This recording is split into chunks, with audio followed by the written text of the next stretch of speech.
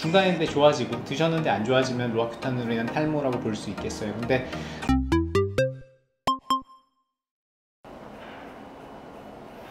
안녕하세요 뉴헤어 김진오입니다.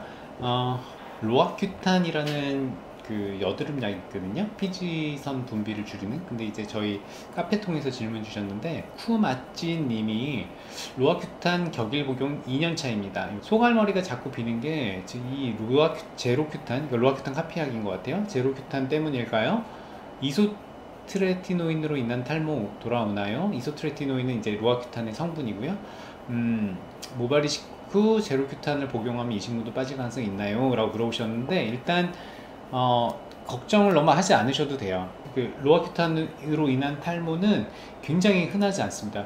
이 로아큐탄 약 정보를 인터넷에서 검색해 보시면 1번 피부 및 부속 기관에 이제 빈번하게 일어나는 어, 부작용 어, 그리고 매우 빈번하게 드물게 매우 드물게 이렇게 있는데 드물게 여기 부분에 보면 가역성 탈 가역성 탈모증이라고 있어요. 일부의 경우 지속됨하고 가로 열고 돼 있는데 그러니까 약을 중단하면 회복된다는 얘기고 드물게 일어나요.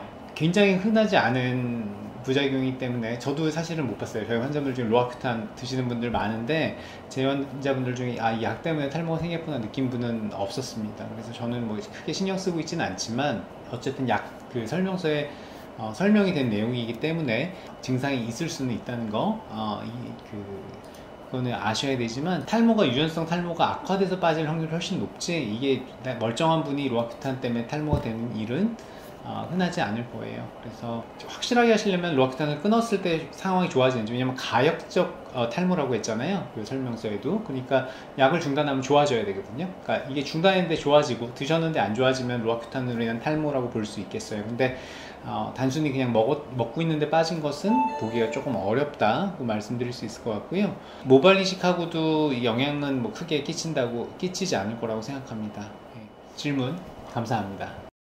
궁금하신 점 있으시면 댓글로 남겨주세요. 직접 답변 드리겠습니다. 긴 내용이나 사진 등을 첨부하셔서 문의하실 내용이 있으시면 아래 설명 링크에 있는 저희 네이버 뉴욕 카페에 남겨주시면 됩니다.